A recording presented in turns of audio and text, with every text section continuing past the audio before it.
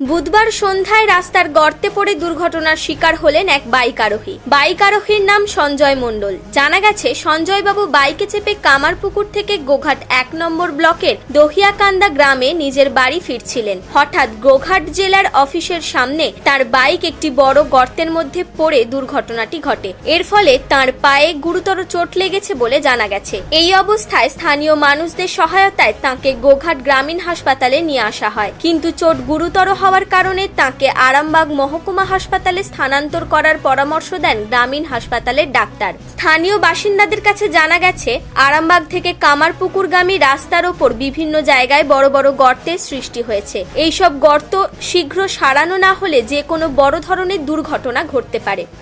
ঘটনাটা উনি কামারপুকুর থেকে আসছিলেন।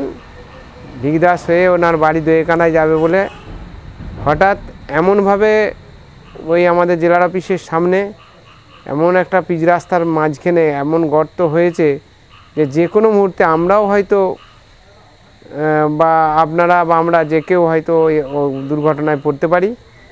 সেই দুর্ঘটনায় আজকে উনি শিকার হয়েছে, ওনার পায়ের অবস্থা খুব খারাপ, কারণ এই দিদিমণিরা বলছে ওনাকে ট্রান্সফার করতে হবে। আমরা গোঘাট স্বাস্থ্যকেন্দ্রে নিয়ে এসে ভর্তি করেছি ওনাকে। ওনারা বলছেন, ম্যাডাম বলছেন যে আরামবাগে নিয়ে যেতে হবে। উনি মোটর সাইকেলে আসছিলেন। আর এই বৃষ্টি হয়েছে রাস্তায় যে গর্ত ছিল আরও বড় বড় গর্ত হয়ে গেছে। আমাদের রাস্তার দু চার জায়গায় এমন অবস্থা, যেমন ইলেকট্রিক অফিসের সামনেও দেখবেন যে একটা যাচ্ছে তাই অবস্থা হয়ে রয়েছে।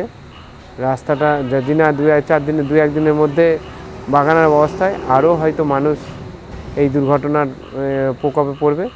এর জন্য আমরাও চাইছি যে রাস্তা যাতে হ্যাঁ বাগানো হয়, তার জন্য আমরা বলছি।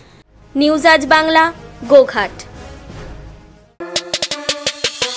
সৌন্দর্যের নতুন ভাষা নিয়ে আরামবাগে প্রথম পা রাখতে চলেছে এস এস আর ফিটনেস। নিজেকে নতুন করে খুঁজে পেতে ফিটনেসের নতুন ভাষা নিয়ে এই প্রথম আরামবাগে আসতে চলেছে এস এস আর ফিটনেস। আপনার জন্য এখানে থাকছে সার্টিফাইড ফিটনেস এক্সপার্টও।